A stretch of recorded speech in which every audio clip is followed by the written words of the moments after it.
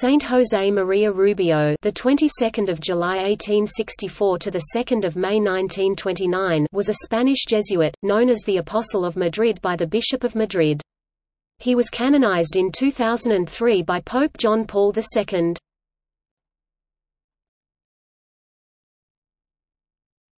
Topic: Childhood and adolescence.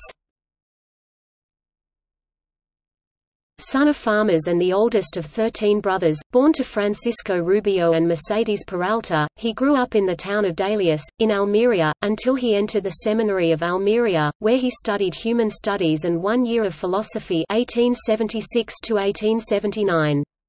He then studied philosophy and theology for four years at Granada 1879 -1886, where he was sponsored and protected by the professor and canon Joaquín Torres Asensio.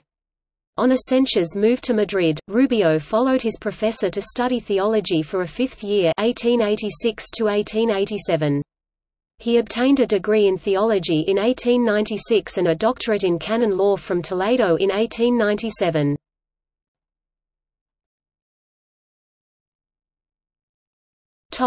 Priest in suburban Madrid Ordained priest, he celebrated his first Mass on October 12 1887 on the altar of the conversion of San Luis Gonzaga of the then Cathedral of San Isidro of Madrid, the diocese where he worked for three years as curate at Chinchón 1887 and pastor at Estremera 1889 in both villages he was notable for its extreme austerity, his catechesis of children, and service of the poorest. Later, as chaplain of Bernardine nuns in the Church of the Sacrament of Madrid, Almudena parish, he became distinguished by his activity in the suburbs of the capital with the cleaners and dressmakers. He also taught Latin literature, pastoral theology and metaphysics 1890 at the seminary in Madrid, and was a notary and registrar of the vicariate of the diocese. A Journey as a Pilgrim to Holy Land and Rome 1904 left on him an indelible mark. During this period he described himself as a fan of the Jesuits, because since his time as a student of theology at Granada he had wanted to join this order, to the point of becoming confused as such among the those who organize clerical famous riot after the theatrical representation of the Electra of Galdós.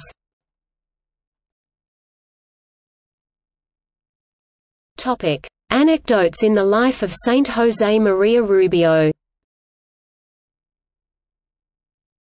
Father Rubio was a famed confessor. The locals used to queue, having to wait for several hours, in order to be confessed by the Father Rubio. Visit to a dying While confessing, a lady came and gave him the directions to a man who had to confess soon, as he was dying. That evening, Father Rubio went to visit the dying, and following the directions, he had to go to a third floor without a lift. When he finally arrived, knocked and asked for the gentleman. It's me, the gentleman said. But I think that someone has played a practical joke on you, as you see I'm in perfect health. Come on, man, have a drink and relax after you have had to climb so many stairs. Entering the room, Rubio saw a portrait on the wall, and while the man served him a drink. Father Rubio said that the lady was the one who sent him. The man laughed and said that the lady was his mother who died some years ago. Then, the gentleman said, Look, anyway, as you are here, I'm going to confess because it's been years since I entered a church, and so your journey will not have been in vain." He confessed and died that night. The seamstress A seamstress from Madrid told in confession that his father hated the faith, and considered the Christian religion a swindle and a lie. Thus, she was afraid of the eternal damnation of his father. Father Rubio said that she should not be worried, as her father would be saved. Some days after the confession, during a retreat and preaching, that seamstress came late. At the moment when she arrived, Father Rubio paused for a moment in his speech and said in loud voice, "'At this very moment one of you just received a very special grace. Really very, very big. In a few days you will know what it is and whoever of you has received this, that lucky person has to thank our Lord Jesus Christ." All women who were there present took note of the time and day, as he was already famous for these prophecies that were fulfilled. The seamstress in a few days noticed that his father died holy, and just at that time when Father Rubio was preaching, her father was confessing and receiving the last sacraments.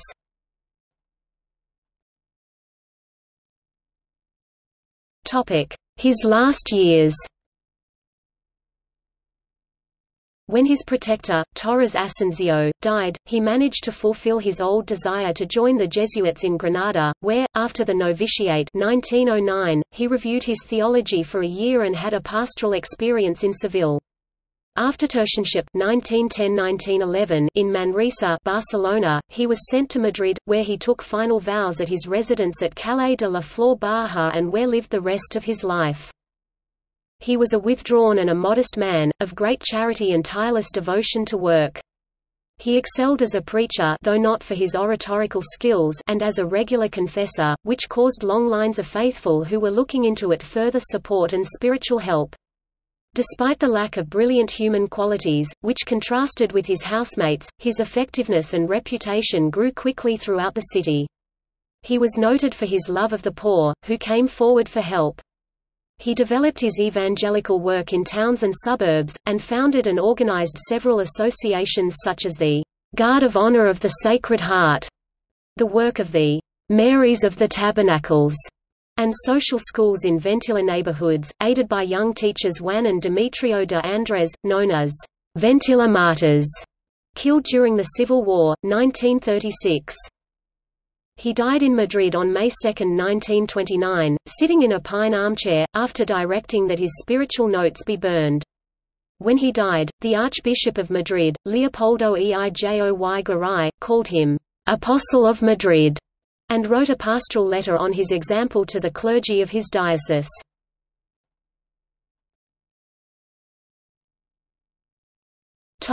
His canonization During his life miraculous events were reported, such as bilocation, healings, prophecy and clairvoyance, some, perhaps legendary, but others ratified by numerous witnesses. What dominates is the testimony of his example and his word next to the message that holiness is available to all who simply surrender to the will of God. His ultimate favorite was, "...do what God wants and want what God does."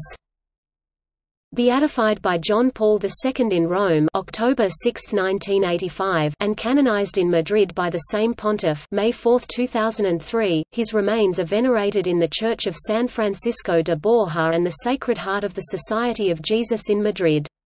The extraordinary fact, considered as a miracle by the Congregation for the Causes of Saints in order for his canonization, was the healing of lung cancer of the Jesuit José Luis Gómez Muntán 1988.